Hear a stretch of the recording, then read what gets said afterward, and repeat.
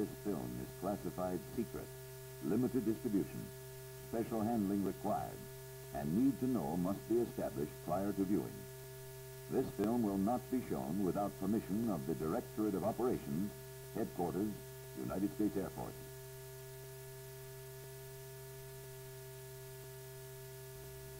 In mid-October 1962, a program was initiated to develop a highly specialized reconnaissance system.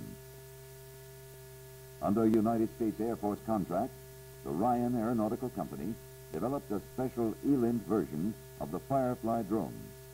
The contract included all antenna, pressure sensor, and electrical power systems. Temco incorporated electronic receiving and recording equipment modifications in two R-47 aircraft. Under direct government contract, ELINT equipment for the drone was developed by the HRB Singer Company. The optical tracking equipment was developed by the Barnes Engineering Company. The system concept is based on combining the capabilities of the drone reconnaissance probe, R-47 ELINT recording aircraft, and two surface recording and optical tracking stations. The drone is air-launched on a mission program to penetrate an area of interest. A flashing light beamed from the drone is sighted and tracked by surface optical tracking stations. Electronic augmenters in the drone increase the probability of acquisition by radar. All electronic signals received by the drone are converted to video or CW level signals and transmitted to R-47 aircraft and appropriately positioned surface stations equipped to receive, assess, and record this information. If defensive weapons are fired, the radar guidance and fusing signals received by the drone are converted and transmitted. An explosion in close proximity to the drone would be vehicle tracking equipment, and the detonation characteristics and location relative to the drone are observed and recorded by the surface optical tracking stations. Overpressures created by the explosion are measured by pressure sensing devices on the drone and transmitted to the R-47 aircraft.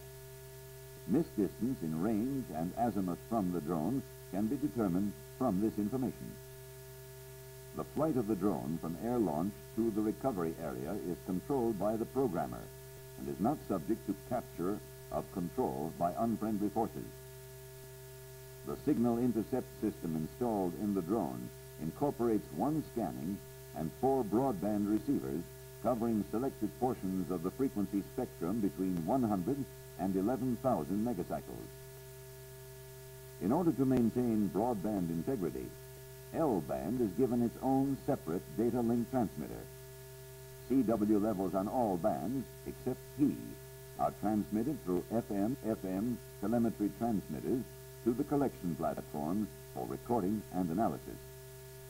E, C, S, and X-band information is converted to video form, processed through a linear mixer, and transmitted by AM-FM telemetry in the same manner.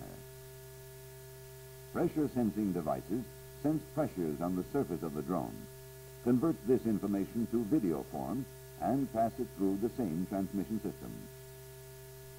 A separate system for radar augmentation on S and C bands is incorporated in the drone. The system functions through the use of traveling wave tube amplifiers and filters. The flashing light system is made up of the battery, flasher modulator, and lamp assembly. The nose of the drone was modified to accommodate the scanning and broadband receivers. All receiver antennas were installed in the nose area. Transmitting antennas were installed in the tail area. The overpressure sensor system is located in the dorsal fairing. The data link transmitter was installed in the forward section of the equipment compartment.